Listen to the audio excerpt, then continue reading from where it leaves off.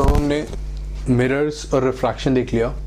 Now we come to the prism theory इसमें prisms के across जो रिफ्रैक्शन होता है, उसको स्टडी करना है। पहली बात तो तीन टाइप के प्रिज्म्स होते हैं। एक होता है इक्विलैटरल प्रिज्म एक होता है राइट एंगल्ड प्रिज्म और एक होता है right angled isosceles prism generally हम यही तीन प्रिज्म्स का यूज़ करते हैं। इनमें जो रिफ्रैक्शन होगा, वो किस तरीके से होगा?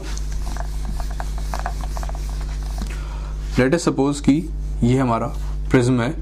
तो अब एक फेस पर अगर लाइट इंसिडेंट होगी this is the normal to the prism to the side ये अगर आई है तो ये कुछ रिफ्रैक्ट होगा towards the normal so this will be r this is a b c this is r one जब इस फेस पे पहुंचेगा this will be the normal this is r two and this will be equals to e ठीक है?